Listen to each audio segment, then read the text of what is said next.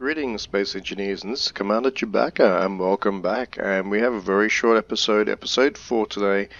We've had a request where someone has had a problem and just let me know about it, where they've done what we've done here. They've taken this temporary status off their ship, but they cannot reuse their ship. So what we're going to do now is just have a very quick video on what we need to do once we have developed this platform here if you would like to reuse this ship, how would you do that?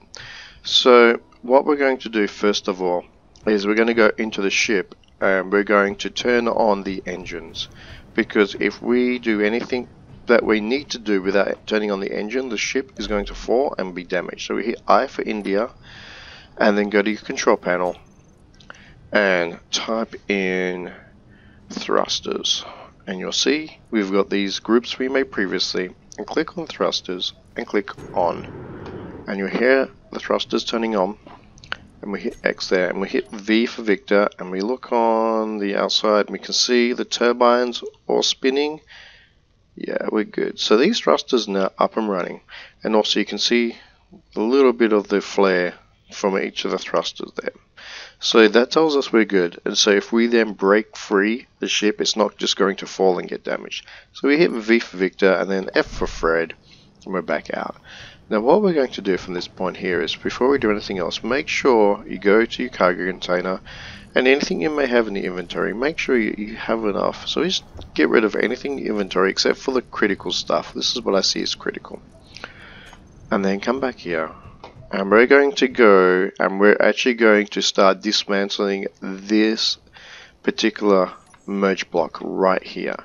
Um, you could do that one but I recommend this one. And so what we're going to do is we're going to break it down to just below the blue line. If you look on the right hand side you'll see a blue line.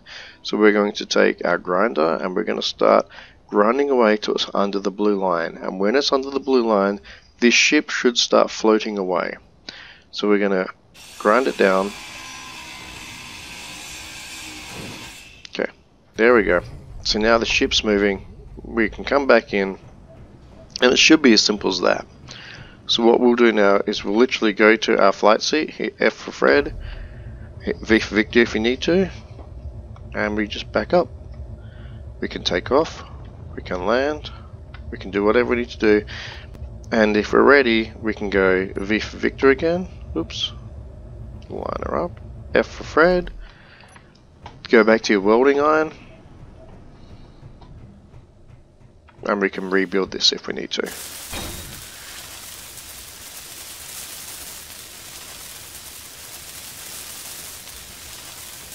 There we go. So now we have a merge block back. And so in what we're going to do in this case is I'm going to continue on with this game and for these tutorials. So I'm going to relink back this little ship here. So we just go see. Remember we want to make sure your landing gear's off, which it is.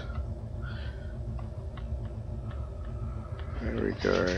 If you hear any noises in the background, that's just my natives. They're having a good old time, just causing a ruckus, and I don't have much control over that. They're normally pretty good, but for some reason they have a whole bunch of energy. Oops. So here we go. And we're just gonna link it in, and we're back in system here. So we just hit I for India, and control panel, and we can just turn our thrusters off. Now the alternate thing you could do, instead of doing a merge block every single time you're coming back and you want to merge your ship and you want to share power, you could, instead of using a merge block, set up a connector here and a connector there. We'll go through that later on. And by using connectors, that still allows you to transfer materials from your station to your ship, but does not convert your ship into a station. We initially did that the first time to remove the temporary status. And also, by doing it with a connector, obviously that means it's also able to share power. So you can mine from here and have it sent directly up and into the refinery if you wanted to keep this ship. And some people do, and there's nothing wrong with that. Um, also, when you destroy your batteries, when you if you decide to break this ship down, you will not receive um, any battery components from the batteries. They will just turn up as scrap metal. So that's something else to be aware of. And so there may be benefits to you keeping the ship intact. But anyway, that's a very quick and simple video on how to return the ship back to being a ship so you can fly it again. If you have any questions, please let me know. I hope this helps you out and um, I look forward to hearing any comments. And if you found this useful, hit the like and subscribe for me. Well, this is Commander Chewbacca signing out.